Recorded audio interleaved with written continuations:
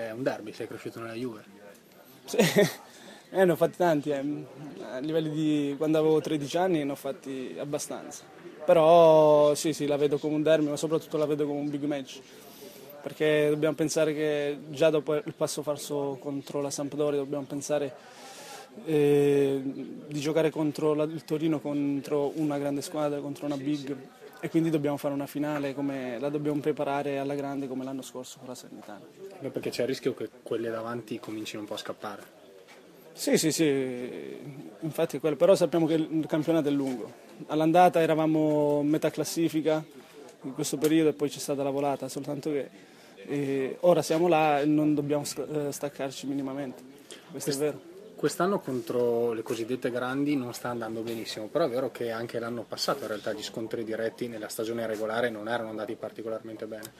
Sì, ma eh, come vedi anche la Juve in Serie A, gli scontri diretti eh, li ha vinti o, o li ha pareggiati. Tanto che le, le, partite più importanti si fanno con le piccole, se vuoi vincere un campionato si fanno con le piccole.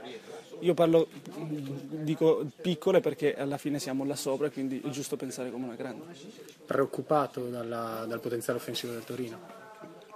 Ma preoccupato, no? Preoccupato, allora dobbiamo essere sempre preoccupati perché ogni squadra ha eh, degli attaccanti abbastanza forti per la Serie B e quindi si sa che il Torino è attrezzata per, eh, per andare in Serie A, quindi chi gioca, chiunque gioca fa bene, chiunque gioca e, e devi stare sempre attento, però ci dobbiamo preoccupare più di noi stessi, dobbiamo eh, cancellare la partita di, di, Genova e ricominciare con un altro spirito. Il terzo gol stagionale di Mimo Maietta? Eh, speriamo, speriamo, guarda, come ex, come hai detto tu, come mm, ex Juventino, eh, speriamo di farlo, ma non, non, importa, a me basta più che altro non prendere gol e poi davanti abbiamo dei giocatori che possono farci la differenza.